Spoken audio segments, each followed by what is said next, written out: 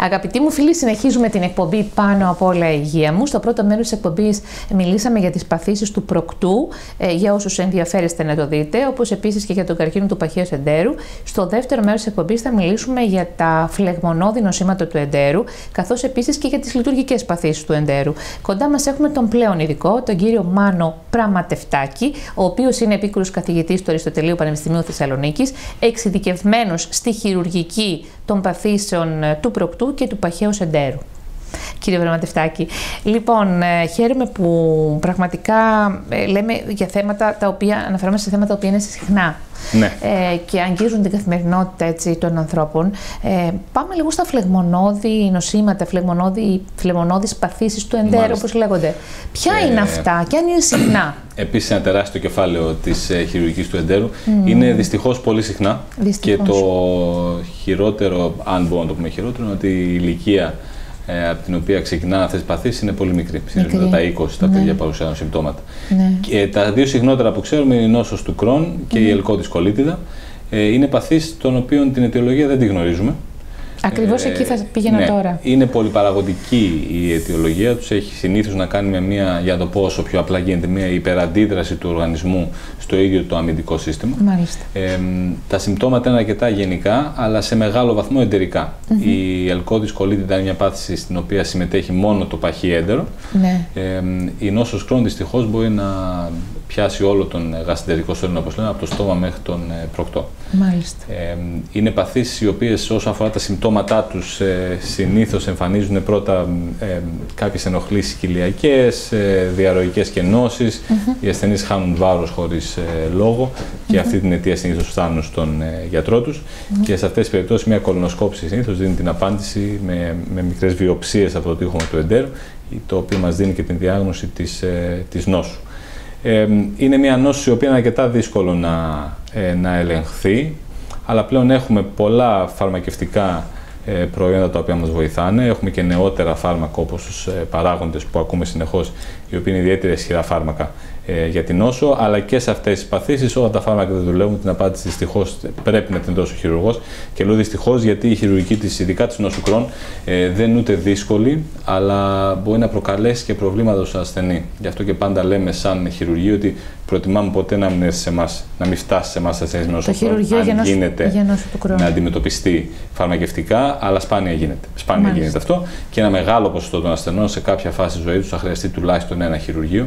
Και λέω τουλάχιστον ένα γιατί οι περισσότεροι ασθενεί με νόσο Crohn στατιστικά χρειάζονται τουλάχιστον δύο έως τρία χειρουργεία στην ε, πορεία της ζωής τους. Αν η νόσος, σας διακόπτω κύριε Πραγματευτάκη, έχω ερώτημα. Εάν η νόσος αυτή αρχίσει από μικρή ηλικία, ας πούμε από την ηλικία των 18 ετών, Ναι. 16, 17, 18 ετών, άρα λοιπόν το πρώτο χειρουργείο συνήθως, βέβαια εξαρτάται, είναι Ναι. νομίζω εξατομικευμένο το θέμα. Ναι. Πότε γίνεται; Δεν μπορώ να τα Δεν απαντήσω. ξέρουμε, δεν είναι μπορούμε. εντελώς δεν μπορούμε. εξατομικευμένο. Ναι. Έχει να κάνει με το πόσο καλά θα απαντήσει ο ασθενής στη θεραπεία και ακόμα Μάλιστα. πιο σημαντικά πόσο γρήγορα θα διαγνωστεί για να ξεκινήσει Αυτό. η θεραπεία.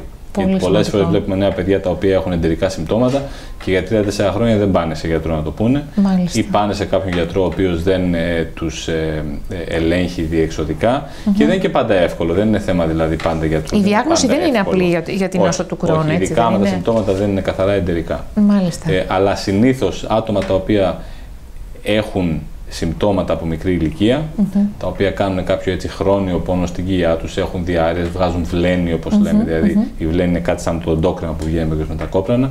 Όταν έχουν τέτοια συμπτώματα, πάντα υποψιαζόμαστε σε τέτοια ηλικιακά γκρουπ ε, την νόσο του Κρόν. Είναι ε, κληρονομική η νόση του Crohn. Ε, ναι, έχει κληρονομική επιβάρυνση. Ναι. Ε, αλλά ξαναλέω ότι η αιτιολογία της δεν είναι καθαρά κληρονομική. Εμφανίζεται συχνότερα σε οικογένειες με νόσο, αλλά είναι πολλοί παράγοντες οι οποίε δημιουργούν την. Ε, Κύριε τη Πραγμα- δημιουργούν. τη δημιουργούν. Κύριε Πραγματευτάκη, να ρωτήσω κάτι για την νόσο του Κρόμ, ε, Κρόν. Ε, θέλω να μας πείτε ε, τι, ε, πόσο συντηρητική πρέπει να είναι η ζωή ενός ασθενούς. Ε, τι πρέπει να κάνει έτσι προκειμένου να... Σε σχέση με τη διατροφή του φαντάζομαι Η περισσότερο. διατροφή δεν έχει άμεση σχέση Δεν έχει με άμεση την έξαρση σχέση. της νόσου.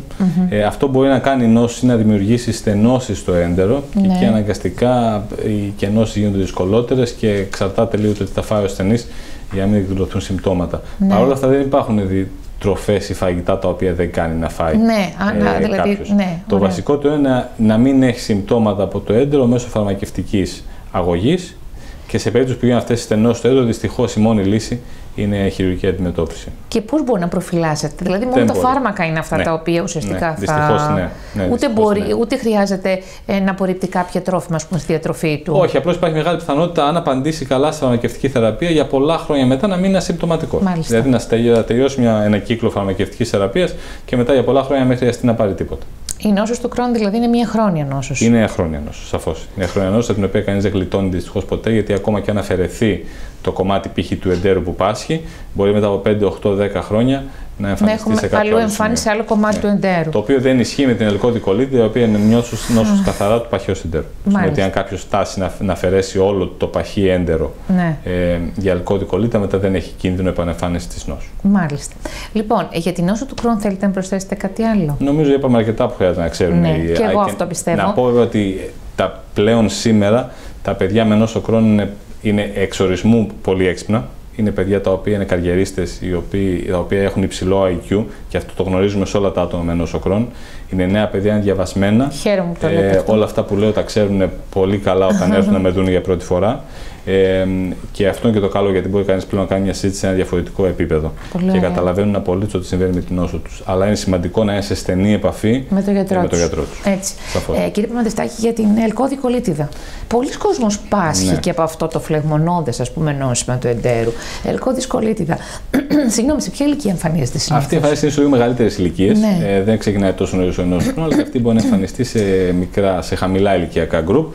Τα συμπτώματα είναι ανάλογα σαν την όσο κρόν, μπορεί να μοιάζουν δηλαδή. Ναι. Ε, βέβαια, ιστολογικά και παθολογανατομικά, αν το δούμε εντελώς επιστημονικά, είναι τελείως διαφορετικές παθήσεις. Αλλά τα συμπτώματά τους πολλές φορές είναι κοινά. Αυτό που βλέπει ο ασθενής.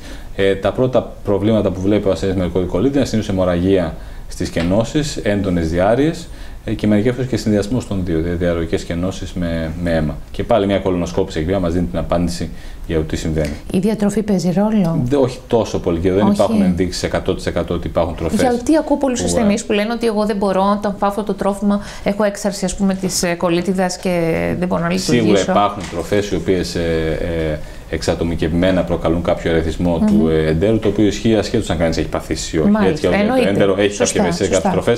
Είναι ένα πολύ έξυπνο όργανο, ένα αυτόνομο όργανο το παχυέντερο. Έχει δύο νευρικά, νευρικά πλέγματα από το νευρών, έχει ένα εγκέφαλο δικό του. Mm-hmm. Δηλαδή ένα πολύ έξυπνο ε, όργανο και είναι και λογικό να δρά εξατομικευμένα. Ε, αλλά αυτό στην ελκώδη κολλήτα δεν έχει άμεση σχέση. Είναι μια διαδικασία η οποία επηρεάζει το τείχομα του απαχαίου εντέρου, δημιουργεί διάφορες βλάβες, οι οποίες δυστυχώς, αν μείνουν αθεράπευτες, μπορούν να προχωρήσουν και στη δημιουργία καρκίνου.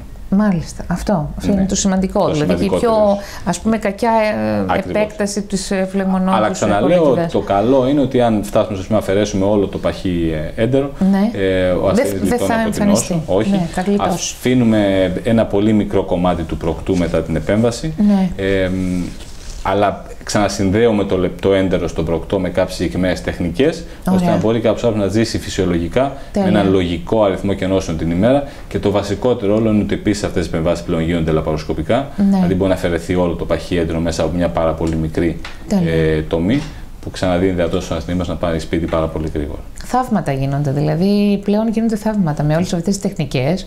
Μας βοηθάει πολύ η τεχνολογία. Απλώς αυτές οι επεμβάσεις, όσο αναπτύσσονται, γίνονται τεχνικά δυσκολότερες. Mm-hmm. Θέλει πολύ καλή εκπαίδευση ε, φυσικά. αυτές Οπωσδήποτε. Ναι. Οπωσδήποτε.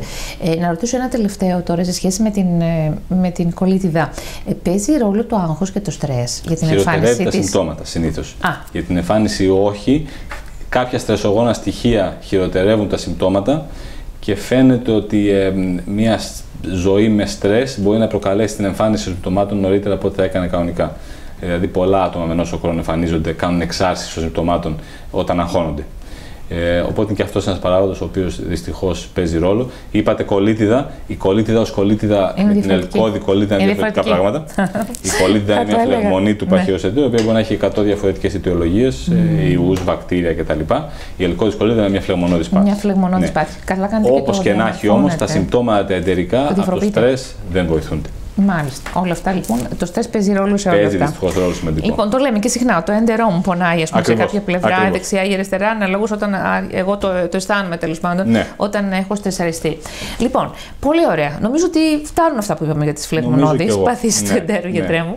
Λοιπόν, να πάμε τώρα στις λειτουργικές παθήσεις του εντέρου. Μάλιστα. Τι σημαίνουν λειτουργικές παθήσεις του εντέρου, για να καταλαβαίνει και ο κόσμος, γιατί Ναι. οι φλεγμονώδει είναι πιο εύκολο να καταλάβει. Λειτουργικές τι σημαίνει και ποιες είναι οι πιο συχνές λειτουργικές Οι παθήσεις; λειτουργικές παθήσεις ουσιαστικά έχουν να κάνουν ε, με την λειτουργία του εντέρου. Δεν έχουν να κάνουν με καρκίνους, δεν έχουν να κάνουν με φλεγμονή. δεν Άντε, έχουν και να κάτι κάνουν καλό να και κάτι πούμε. καλό. Ναι. Ε, μ, αλλά απλώς είναι πάρα πολύ συχνές. Ε, δηλαδή έχουν να κάνουν με το πώς λειτουργεί το έντερο σε συνδυασμό με, τους, ε, με την πίελο, με την λεκάνη δηλαδή και τους ε, μυς της πιέλου. Μάλιστα. Ε, το πιελικό έδαφος όπως λέμε. Ε, μ, όταν αναφερόμαστε σε λειτουργικές παθήσεις είναι διάφορες. Οι συχνότερες οι οποίες βλέπουμε είναι η ακράτεια και η δυσκυλιότητα. Ναι. Ε, μ, αν μπορεί κανείς να τις παθήσεις, γιατί σε ένα μεγάλο βαθμό είναι συμπτώματα. Ε, όταν δηλαδή κάποιος έρχεται με δυσκυλιότητα ή με ακράτεια, είναι περισσότερο Πάρα ένα πολύ σύμπτωμα. δύσκολο είναι. Ακριβώς. Σύμπτωμα το θεωρείται, αλλά είναι δύσκολη Ε, κατάσταση. είναι, πο- το δύσκολο είναι να αναγνωρίσει κανείς σε τι μπορεί να οφείλεται Α. το σύμπτωμα. Ναι, Γιατί δυστυχώς υπάρχουν διάφορες παθήσεις σε αυτή την περιοχή, Ναι. Ε, οι οποίες μπορούν να προκαλέσουν δυσκυλιότητα και. Ε, Αυτό η ποτέ δεν το διάρρηση. σκεφτόμαστε. Πάντα το μυαλό Ποτέ. μας πάει στη διατροφή, Ναι. νομίζω, στα τρόφιμα, τι έχουμε φάει την προηγούμενη μέρα ε, και όλα αυτά. Αλλά δεν σκεφτόμαστε ότι Ναι. μπορεί να συνδέεται με μία πάθηση αυτό. Σίγουρα παίζουν ρόλο και αυτά και Ναι. σίγουρα κάτι μπορεί να βελτιώσει τα συμπτώματά του και μέσω αυτού Ναι. ε, και μέσω αλλάζου διατροφής. Δηλαδή, όλοι ξέρουμε ότι το νερό παίζει τεράστια σημασία στη διατροφή μας, το πρωινό παίζει τεράστια σημασία στο πώς θα πάει η μέρα μας και Σωστά. το έντερό μας. Ναι. Ε, Αυτές οι καινούργιες συνήθειες του ξυπνάω, πίνω ένα καφέ, κάνω ένα τσιγάρο και φεύγω, είναι ό,τι χειρότερο για την, ε, για την λειτουργία του εντέρου. Όπως και το να πίνουμε δύο ποτήρια μόνο νερό ε, την ημέρα είναι το ίδιο ε, άσχημο.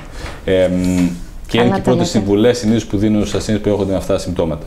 Και ένα μεγάλο μέρος αυτών δεν ξαναέρχεται γιατί βελτιώνεται και μόνο μέσω αυτών. Αλλά το σημαντικότερο είναι να γίνει μια σωστή μελέτη του ασθενούς, ο οποίος έχει έντονα συμπτώματα. Εντάξει, γιατί ένα επεισόδιο ισχυρότητα Τι σημαίνει, τι, θέλω εδώ να μου Ναι. απαντήσετε λίγο, Ναι. γιατί είναι σημαντικό το θέμα. Ε, τι σημαίνει ότι έχω δυσκολιότητα, έτσι.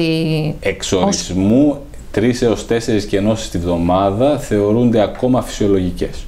Τρεις έως τέσσερις κενό την εβδομάδα. Δηλαδή, αν πηγαίνει κανείς μια φορά την ημέρα ή ανά δύο μέρες και ενδιάμεσα άλλη μια φορά, το θεωρούμε φυσιολογικό. Μάλιστα. Δεν είναι κάποιος δυσκύλιος. Κάποιος που δεν μπορεί να πάει στο τουαλέτα κάθε μέρα ή κάθε δεύτερη μέρα, ή που πηγαίνει μια φορά στις 4, μια φορά στις 5, ή που πηγαίνει κάθε στην τουαλέτα, πιέζεται, ζορίζεται για 25 λεπτά, δεν καταφέρνει τίποτα, πρέπει να ξαναγυρίσει μετά από μισό κτλ.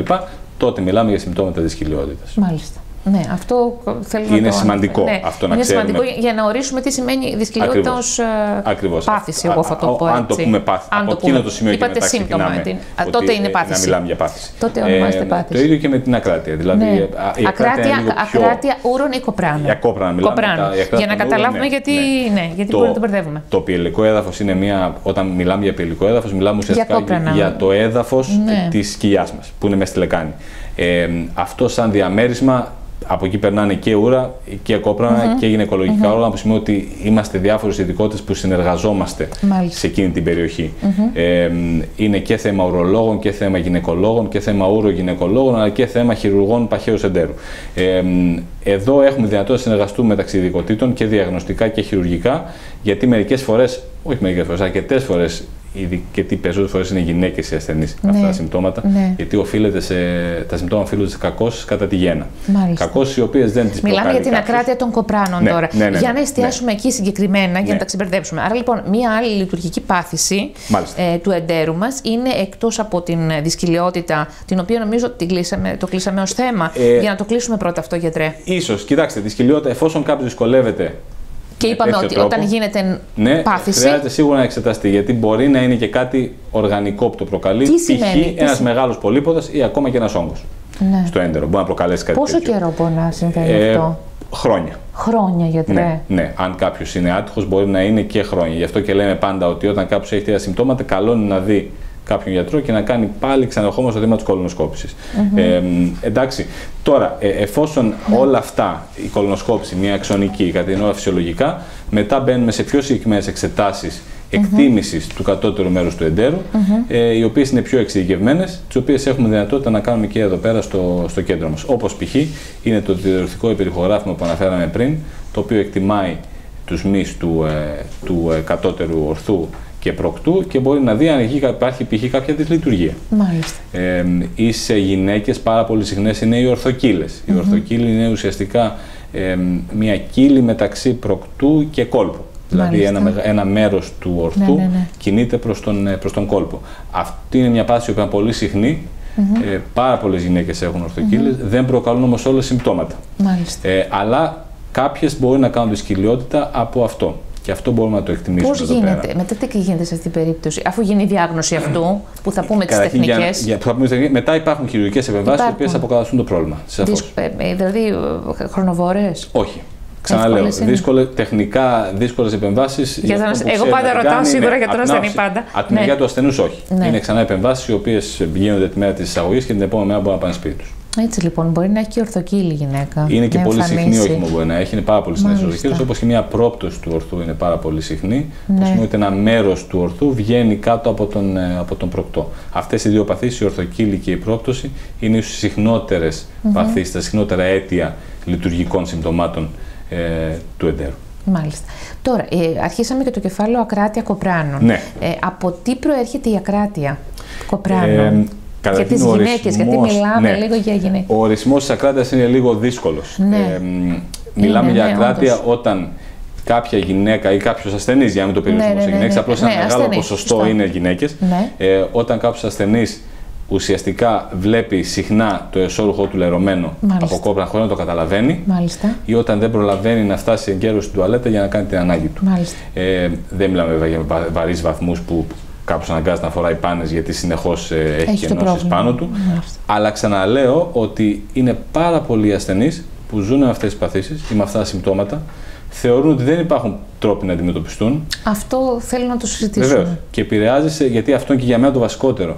Ε, επηρεάζει σε πάρα πολύ μεγάλο βαθμό την ποιότητα ζωής τους. Ακριβώς. Πάρα πολλοί ασθενείς ή πάρα πολλοί άνθρωποι, γιατί δεν τους όρω ουσιαστικά πάντα ασθενείς, είμαι σίγουρος και μερικοί παρακολουθούν τώρα, είναι κλεισμένοι σπίτι. Και εγώ το πιστεύω. Δεν βγαίνουν, αυτό, δεν πάνε να ψωνίσουν, δεν πάνε βόλτα. Ναι. Γιατί φοβούνται μην τους φύγει κάτι στο σώργο τους. Ναι. Ή γιατί πονάει και η από της δυσκολιότητα.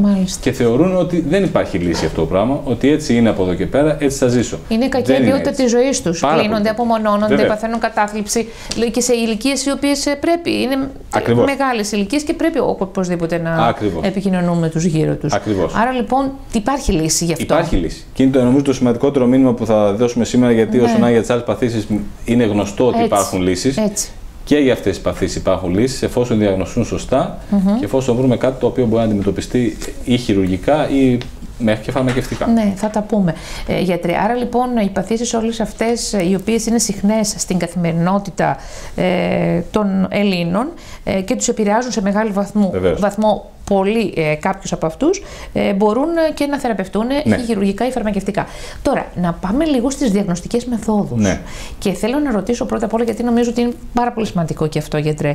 Ε, Ποιες υπάρχουν, αν υπάρχουν καταρχήν να πούμε, διαγνωστικές μέθοδοι που μπορούν να βοηθήσουν έτσι, για την αναγνώριση της αιτιολογίας των παθήσεων αυτών. Υπάρχουν τεχνικές, είναι εξειδικευμένες τεχνικές. Είναι, είναι συνήθως η μαγνητική τομογραφία μας βοηθάει σε αυτό το θέμα σε συνδυασμό με τον διορθικό υπέρηχο τον οποίο προανέφερα. Μάλιστα. Ε, αλλά το σωστότερο είναι να γίνει μια, δυνα, μια δυναμική μαγνητική τομογραφία. Και όταν λέμε δυναμική εννοούμε μια τομογραφία μαγνητική στην οποία μέσα ο ασθενής την ώρα που είναι μέσα στο μαγνήτη του ζητάμε να κάνει συγκεκριμένες κινήσεις με το έδαφος του, με το πυελικό του ναι, ναι έδαφος, ναι, ναι, ναι, τις οποίες καταγράφουμε στον ε, μαγνήτη. Ναι. Είναι κάτι το οποίο γίνεται εδώ για κάποια χρόνια. Ναι. Έχουμε την τύχη να μπορούμε να το κάνουμε και εδώ και μάλιστα ξεκινήσαμε και πρόσφατα. Σύντομα, ε, δηλαδή πρόσφατα, έγινε αυτό. Ναι, αυτό να το πούμε. Ε, είναι ε, σημαντικό. Είναι πάρα πολύ σημαντικό. Ε, ναι, γιατί δεν είναι, δεν είναι εύκολη η εξαίρεση να γίνει και ακόμα δυσκολότερο είναι να διαβαστεί σωστά από Α, τον ακτινολόγο, φυσικά. το οποίο πάντα γίνεται σε συνεργασία ε, με τον χειρουργό. Ναι. Είναι λοιπόν, ε, ζητάμε από τον ασθενή μας μέσα στον μαγνήτη να κάνει ουσιαστικά μια κένωση. Ε, καταγράφουμε την κίνηση του ορθού ε, σε σχέση με τα υπόλοιπα όργανα και από εκεί μπορούμε να δούμε σε τι ακριβώς οφείλεται το πρόβλημα. Αυτή η εξέταση σε συνδυασμό με μια κολονοσκόπηση και συνδυασμό με ένα, με ένα διορθικό υπερηχογράφημα χαρτογραφεί πλήρως ε, την ε, περιοχή πάντα μιλώντας εντερικά, έτσι όσο αφορά mm-hmm. το παχύεντερο. Γιατί οι ουρολόγοι και οι γυναικολόγοι κάνουν κάποιες άλλες εξετάσεις για να δούνε τα προβλήματα της δικής τους ανατομικής περιοχής. Mm-hmm. Αλλά όσο αφορά την λειτουργία του ορθού, του κατώτερου μέρου mm-hmm. του παχαιοσεντέρου, αυτή η χαρτογράφηση μας δίνει μια πλήρη εικόνα του τι συμβαίνει, τι χρειάζεται να κάνουμε και αν μπορεί αυτό το πρόβλημα να θεραπευθεί ή όχι. Μάλιστα. Άρα λοιπόν ε, και αυτό έγινε, είπατε πως αυτό έγινε στο Ιατρικό Διαβαλκανικό Θεσσαλονίκης πριν από λίγες εβδομάδες. Κάνατε δηλαδή, πριν από λίγες κάνατε εβδομάδες. εφαρμογή. Ακριβώς. Για πείτε πώς λέγεται ξανά αυτή. Είναι ένα δυναμικό, ε, δυναμικό είναι κάτι καινούργιο MRI και ουσιαστικά. σημαντικό. Ναι, είναι μια μαγνητική τομογραφία η οποία Δυναμική καταγράφει. μαγνητική τομογραφία Ακριβώς, η με οποία μαγνήτη. καταγράφει. την- Ναι. Είναι ο ίδιος μαγνήτης που γνωρίζουμε. Απλώς αντί να παίρνει τομές τις οποίες διαβάζουμε μετά τη μία μετά την άλλη, Μάλιστα. ουσιαστικά γράφει ένα βίντεο. Καταγράφουμε ακριβώς την κίνηση του ασθενούς μέσα στο μαγνήτη. Είναι επώδυνη αυτή η Καθόλου. Για τον ασθενή. Καθόλου. Δεν είναι Το επώδυνη μόνο για τον πρόβλημα ασθενή. του μαγνήτη, όπως γνωρίζουν, είναι α- άμα κάποιος έχει κλειστοφοβία. Γιατί ο μαγνήτης είναι ένα Ναι. στενό ε, ε, όργανο, το οποίο σε ασθενή ο οποίος έχει κλειστοφοβία ε, είναι μια εξαίρεση η οποία μπορεί να είναι λίγο δύσκολη. Μάλιστα. Ε, αλλά πρακτικά δεν πονάει, δεν είναι επίπονη, δεν έχει κάποια Πιο πολύ προετοιμασία. για τον πόνο και- και γρήγορη. ενδιαφέρονται Όχι, ναι, όχι, δεν οι υπάρχει τέτοια ασθενεί, αν δυσκολία. πονάει. Όχι, ναι. όχι, το καμία. ίδιο πιστεύουν και για την κολονοσκόπηση που είπαμε ότι Σίγουρα. δεν, κονα- δεν πονάει καθόλου. Λοιπόν, τώρα, ε, είπαμε και για τη διάγνωση και τις τεχνικές. Πριν πάμε στις επεμβάσεις, αν τυχόν υπάρχουν Ναι. επεμβάσεις και τεχνικές επεμβάσεων σε σχέση με αυτές τις παθήσει που λέμε, κύριε Παρματευτάκη, να δούμε αν η δίαιτα τελικά βοηθάει. Ναι. Η δίαιτα, η διατροφή ε, μπορεί να προλάβει καταστάσεις, να βοηθήσει στην καλυτέρευση των συμπτωμάτων; Ένα μεγάλο Να. ποσοστό ασθενών βελτιώνεται μόνο και μόνο με διαιτητικές αλλαγές. Ναι. Ε, όπως Για πείτε είπαμε. καμιά από αυτές, έτσι, Ε, που είναι. Νερό. Νερό. Αρκετό νερό το ξεχνάμε στην Ελλάδα, ειδικά Πόσο τα καλοκαίρια νερό; που έχει ζέστη. Ε, ένα μεγάλο μπουκάλι την ημέρα τουλάχιστον το χρειαζόμαστε. Δηλαδή ένα λίτρο και. Έχουμε, δεν έχουμε τουλάχιστον. πρόβλημα. Δηλαδή... Έχουμε, δεν έχουμε πρόβλημα. Μάλιστα. Και ένα καλό ε, trick ή tip που λέω σε Ναι, ασθενείς, ναι. που κάνω και εγώ, γιατί υπάρχουν, ξέρετε, επαγγέλματα όπως είναι η χειρουργοί, όπως είναι οι οδηγοί, όπως Ναι. είναι α- άτομα τα οποία δεν έχουν τη δυνατότητα πολύ συχνά να δουν νερό ή να έχουμε ένα μπουκαλάκι νερό δίπλα μας. Να- όπου να το είμαστε, βλέπουμε. Να το βλέπουμε. και να θυμόμαστε να πίνουμε. Και να θυμόμαστε Αλλιώς πώ έχουμε να δεν. πιούμε. Αλλιώς δεν. Ε, Όντως, ναι. Πάρα πολύ συχνά πολλοί ασθενείς βελτιώνονται μόνο και μόνο με την αύξηση του νερού. Ναι. Σημαντικό το πρωινό. Σημαντικές Πρωινό, δηλαδή ξυπνάμε, πίνουμε τον καφέ και μετά πρωινό ή πρώτο πρωινό και μετά Μαζί. καφέ; Όχι, ο καφές δεν Απλά είναι δεν πρόβλημα. φεύγουμε από το σπίτι. Καλό είναι κάτι να τρώμε το πρωί. Και Ναι. να τρώμε κάτι το οποίο είναι πλούσιο σε φυτικές ίνε. Όπως λέμε, μπορεί να είναι και απλά cornflakes από το σούπερ μάρκετ, τα οποία είναι πλούσια σε φυτικές ίνε. Συνδυασμό με ένα γιαούρτι, με κάποια φρούτα, είναι ό,τι πρέπει για το εντερό μας το πρωί. Μάλιστα. Ε, Ωραία.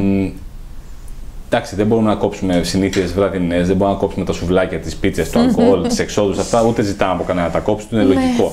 Πρέπει να είμαστε και λίγο λογικοί. Απλά να στη μην ζωή γίνεται μας. κατάχρηση. Να μην γιατρέ, γίνεται αυτών. κατάχρηση. Έτσι, Όπως ναι. γίνεται και με το κάπνισμα, το οποίο πάντα λέμε ότι δεν κάνει να καπνίζουν, αλλά κανείς δεν σταματαει Ε, μ, πρέπει να είμαστε και λίγο λογικοί και λίγο ρεαλιστές. Ναι, ναι, ναι. Ε, αλλά όταν κάποιος φτάνει στο σημείο να έρχεται στο γιατρό επειδή είναι δυσκύλιος, θεωρώ ότι έχει δυνατότητα να κάνει έστω μια μικρή αλλαγή στην καθημερινότητά Φυσικά. του ώστε να βοηθήσει τον εαυτό Φυσικά, του. έτσι. Ε, άρα τέτοια μικρά tips, νερό, φυτικές ίνες, φρούτα, ε, μ, είναι σίγουρα στοιχεία τα οποία χρειαζόμαστε στη διατροφή μας. Δηλαδή, καφέ το πρωί, μια τυρόπιτα στις 12, τίποτα μέχρι τις 9.30 το βράδυ και Αυτό. στις 10 δύο πίτσες. Το συνηθίζ... το συνηθισμένο δηλαδή, όπως λέτε. Είναι και αυτό ό,τι το, χειρότερο. είναι το βιαστικό φαγητό, αυτό Ναι. το γρήγορο Ναι. φαγητό το οποίο λόγω δουλειάς ή άλλων υποχρεώσεων Ναι. ε, λέμε θα πάρω κάτι απ' έξω, δεν θα προετοιμάσω Έτσι. κάτι. Το καλύτερο είναι λοιπόν να προετοιμάζουμε ε, Αν γίνεται- το πρόγραμμά μας. Αν γίνεται, βέβαια. και τώρα έχουμε φύγει από το χώρο αυτό πλέον της, σχετίζεται ε, με την των υγεία μας. παθήσεων και μιλάμε για διατροφή η οποία έχει να κάνει με όλους μας, όχι μόνο με ασθενείς. Έτσι, έτσι, έχει να έτσι. κάνει με όλους μας. Έτσι, γιατί, άρα λοιπόν η, η διατροφή ε, παίζει μεγάλο ρόλο Βεβαίως. στη βελτίωση των ε, λειτουργικών αυτών παθήσεων του εντέρου. Γιατρέ, δεν ξέρω αν θέλετε ακόμα κάτι να πούμε κλείνοντας την εκπομπή και κλείνοντας και στη- ε, για τις λειτουργικές παθήσεις που είναι κάτι πολύ συχνό. Ε, να πούμε ότι διαγνωστικά έχουμε πλέον και πρέπει να ξέρουν οι ασθενείς και συνήθως αναφε... και κυρίως αναφέρομαι σε ανθρώπους οι οποίοι είναι κλεισμένοι στο σπίτι τους με διαβρωμένα και δεν, μπορούν, και δεν το έχουν ούτε Ναι, καν συζητήσει ναι, το ναι, θέμα ναι, ναι, και ναι, θεωρούν ναι. ότι δεν υπάρχει θεραπεία. Ε, να μας δουν. Και μεγάλη να- ηλικία και μεγάλης άτομα είναι ηλικίας, αυτά. σαφώς, βεβαίως, Εντάξει, βεβαίως. γιατί θεωρούν ότι αυτό πρέπει να τους Αυτό είναι. συνοδεύει. Έτσι είναι από εδώ και ναι, πέρα η ζωή Ναι, είναι. ναι, Δεν δυστυχώς. είναι έτσι. Και είναι με τις πάνες, είναι με όλη αυτή την ε, κακή ποιότητα Ναι, στη ζωή ακριβώς. τους. Άρα λοιπόν αυτό εύκολα διαγνώσκεται και αντιμετωπίζεται από ό,τι Εύκολο καταλαβαίνω. δεν είναι, αλλά γίνεται. Ναι. Έχουμε πλέον τις τεχνικές για να το Ναι, δεν κάνουμε είναι και εύκολο, έχουμε αλλά και γίνεται. διάφορες επεμβάσεις. Αν βρούμε κάποιο οργανικό θέμα, έχουμε διάφορες επεμβάσεις να προτείνουμε ή να προσφέρουμε, οι οποίες βοηθάνε σε αυτά τα συμπτώματα. Ναι. Άρα, σίγουρα κάποιον τον οποίο τον επηρεάζει πάρα πολύ η ζωή του κάτι τέτοιο, δεν έχει κανένα λόγο να μην το ψάξει. Να- Έστω και διαγνωστικά. να το κρύβει. ξέρει αν υπάρχει κάτι που μπορεί να επιδιορθώσει. Αυτό είναι πολύ σημαντικό. Ακριβώς. Δηλαδή, ε, έστω μπορεί να κάνει τη διάγνωση και από εκεί και πέρα ξέρει ή όχι αν μπορεί να το επιδιορθώσει και να έχει καλύτερη ποιότητα στη ζωή Ακριβώς. Του. Ακριβώς. Ευχαριστούμε πάρα, πάρα πολύ. Εγώ σας ευχαριστώ για το χρόνο. Δηλαδή, η ενημέρωση που μας δώσατε και όλα αυτά τα οποία είπαμε σε σχέση και με τον καρκίνο του παχαίου εντέρου και με τις παθήσεις του προκτού στο πρώτο μέρος, αλλά τώρα και με τα φλεγμονώδη, είπαμε πολλά πράγματα. Ναι. τα φλεγμονώδη νοσήματα του εντέρου και τις λειτουργικές παθήσεις του εντέρου, πιστεύω επειδή είναι καθημερινές, συχνές παθήσεις, θα είχαν μεγάλο ενδιαφέρον και για τον κόσμο που μας παρακολούθησε, γιατί και εσείς βέβαια είστε ο πλέον ειδικός. Σα ευχαριστώ πάρα πολύ. Να πούμε ότι πρέπει να ξέρει ο κόσμος ναι. ότι επειδή ζούμε και στην εποχή της ε, πληροφορίας, το Google δεν είναι γιατρός.